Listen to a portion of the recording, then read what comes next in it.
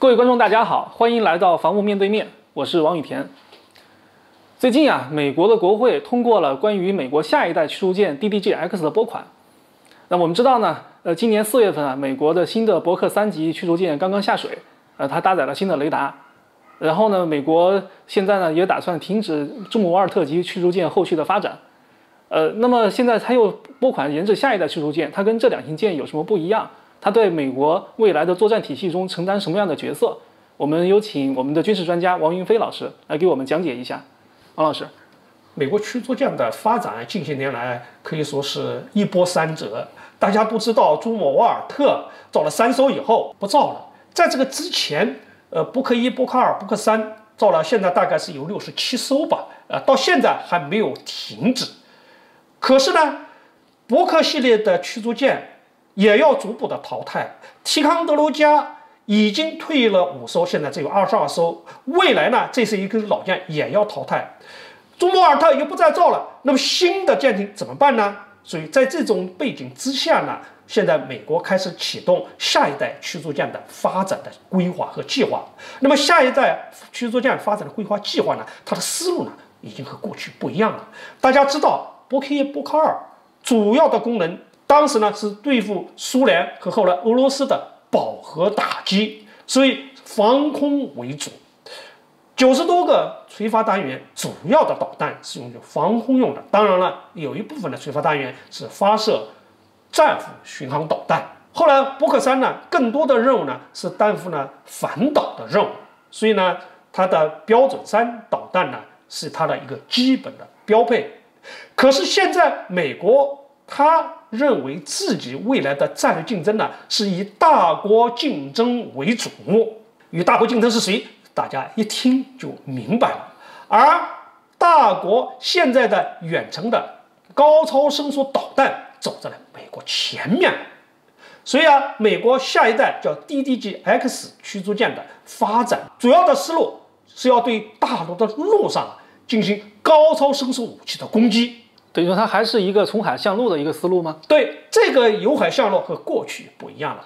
过去那个由海向陆呢，主要是近海对陆上的中小国家、恐怖主义势力进行打击，所以呢，有个战斧巡航导弹就可以了，几百公里。所以大家看到阿富汗战争、伊拉克战争啊，美国的驱逐舰和它的核潜艇发射了大量的战斧巡航导弹。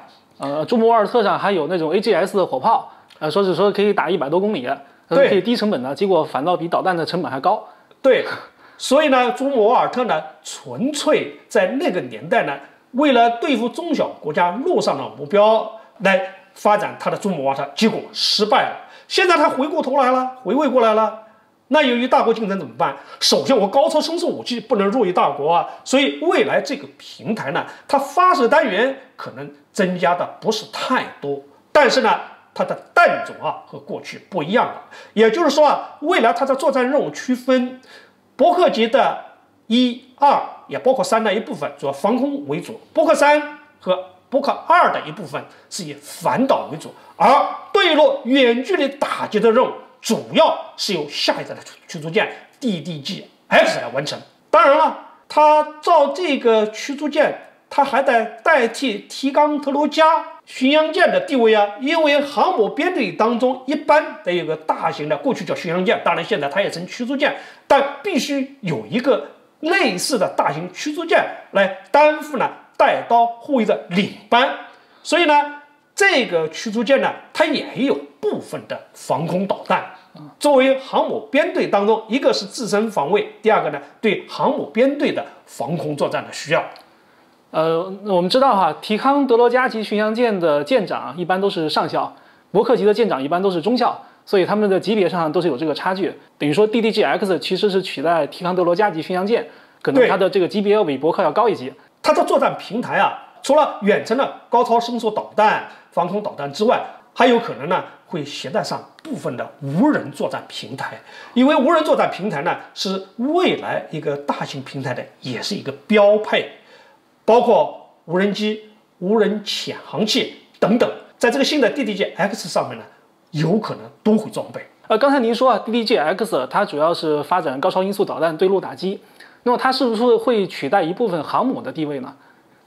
呃，不会。航母本身对陆打击呢，主要是由舰载机来完成的。是的。可是舰载机呢，它的作战半径一个是有限的。你像美国的呃新的 F 三十五 B C，它的作战半径一千公里。当然了，加上它的导弹可能有两千公里或者是一千多公里远。但是呢，它还是不能替代高超声速导弹的作用，因为高超声速导弹有可能距离比它更远。本身也不会受到威胁，你要拦截这个高超声速导弹，困难也很大。而用舰载机，它本身会受到对方的拦截，本身是有危险的。所以呢，它的功能呢是有区分的。航母还是有它航母不可替代的地位和作用。但是呢，这个航母编队呢又增加了新的功能。这种新的功能呢，目前世界上其他国家海上的作战平台。很少有装备高超声速导弹的，除了俄罗斯有，俄罗斯用它的几千吨的啊护卫舰发射，比如说锆石导弹啊等等。